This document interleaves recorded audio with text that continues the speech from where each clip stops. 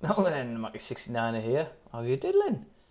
Right, if you're one of these Boro fans, rah-rahs or whatever, or you just don't like when Boro fans say something negative about Boro fans, then I can guarantee this isn't the video for you.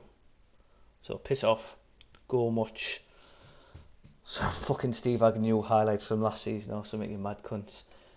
Um, but if you're a Boro fan like me who loves Boro, and will just call a piece of shit a piece of shit, then just carry on. Today against Wolves, I was expecting a hungry fucking team to go out there and just fucking not necessarily fucking demolish Wolves, you know what I mean, but to give it a fucking good go. I expected at least a draw, at least a goal. It was fucking appalling, man. We didn't even step it up until like the last 20 minutes or so, like that, which is honestly better than last season, I'll give you that which is fucking horrendous, man. We're still making the same shit mistakes that we were last season.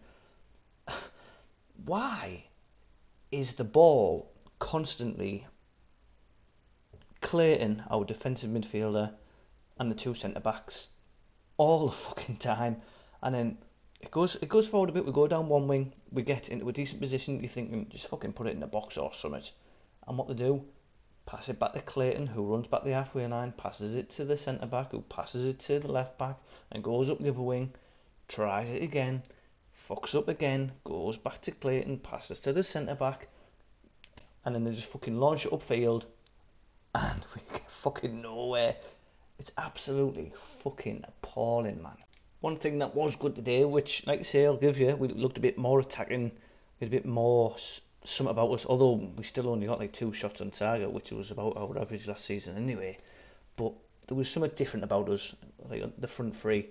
Don't know how the fucking missed that header eight yards out. Didn't even fucking get on target. I mean, fucking hell.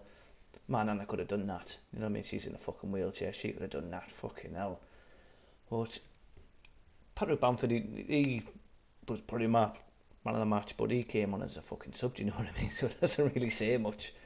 But um, it's just the same old, same old from last season. Just fucking just wears you down and shit, man. I think from last season and from that first game, I know you're saying, no, it's only the first game, stop, stop fucking shitting yourself, blah, blah, blah. But it's, it's not, it has to be fucking addressed.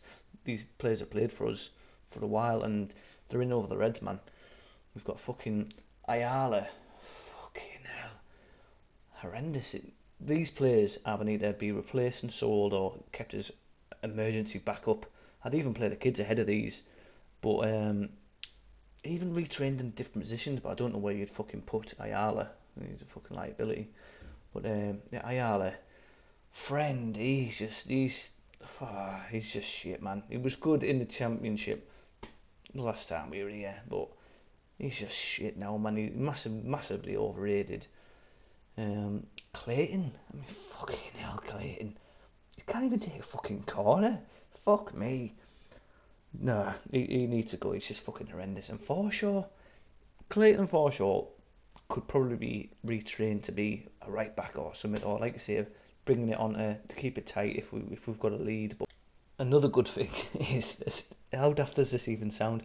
That we made subs this season, so in this game, before 80 minutes. Do you remember last season when we were making subs on 80 minutes or 89? What the fuck's that about? But yeah, we made plenty of subs, so that's fair one. But we just need to change it up. If if we just continue playing like we did that game, which is exactly how we played last season, we're not gonna only not get promoted. We're gonna fucking struggle down the bottom, man.